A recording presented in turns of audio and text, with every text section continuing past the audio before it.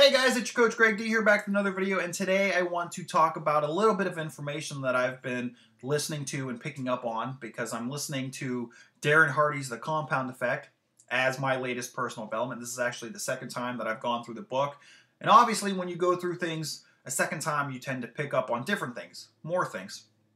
So I'm going to bring a little bit of information to you in hopes that you can learn something. You can maybe implement it as I have actually started implementing some of this information today.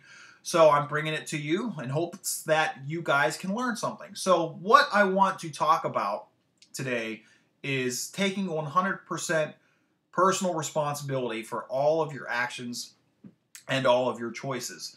Now, the reason why I think this is really important is because when you are able to take 100% personal responsibility, I think that you sort of clear out some emotional stress. You clear out some mental stress. I think that when you're honest with yourself, like 100% truthful with yourself and other people, um, you know, your spouse, your family, your friends, your business partners, I think when you are 100% truthful, that you do lift a whole burden of stress off your shoulders. I know that, you know, sometimes we're afraid to be totally honest with ourselves, totally truthful with ourselves because we don't want to let ourselves down. We don't want to let those other people down, your family, your friends, your business partner, your spouse. But I think that when you can take personal responsibility for your actions, you can make huge, huge strides because when we do take small actions,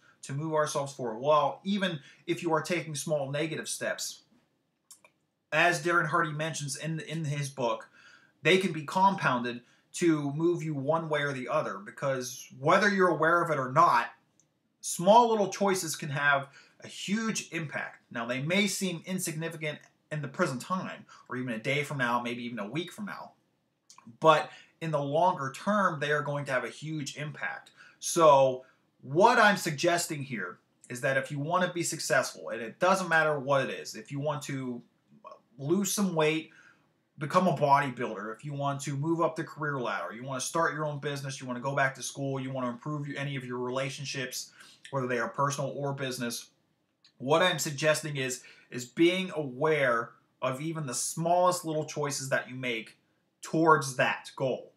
Because one way or the other, you know, we tend to get into habits. And habits can be very hard to break the longer they go on. But what I'm suggesting here is that when you are consistent with little choices, whether you are conscious of them or not, they are going to compound and lead you one way or the other. So, what you really need to do, and for example, food journaling is a good idea of this, especially if you are someone who wants to lose weight or gain muscle, as like a become a bodybuilder or whatever keep track of your food, for example.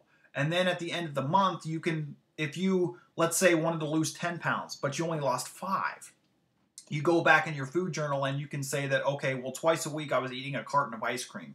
And, but the whole other, the whole rest of the week, I was fine. I was really clean. I was eating really healthy and I did really good.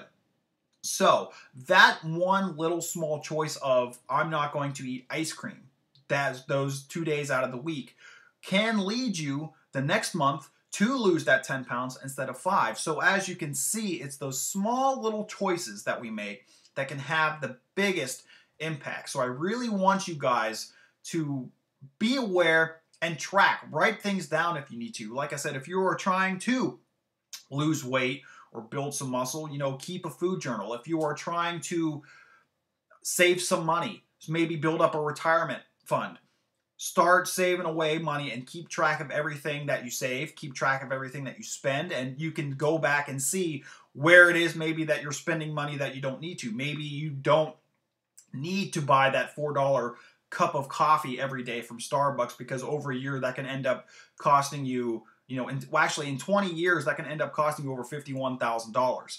So think about that right there. If you want, like I said, if you want to save some money, but you are someone who is buying a Starbucks cup of coffee for four dollars every day over 20 years you're spending over fifty thousand dollars. So think about basically the fact that you are taking money out of your future self's pocket, fifty thousand dollars worth.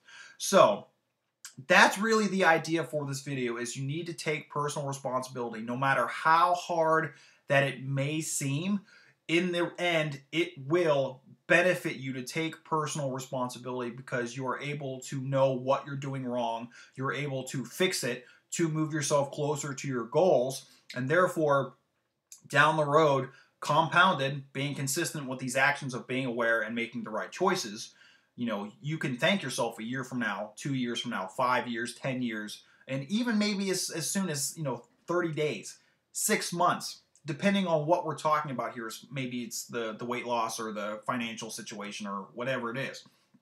But you want to be personally responsible for all of your actions.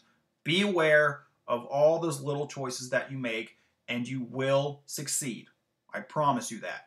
So with that, guys, that's the video today. Like I always say, where there's a will, there's a way, and I'll see you guys soon.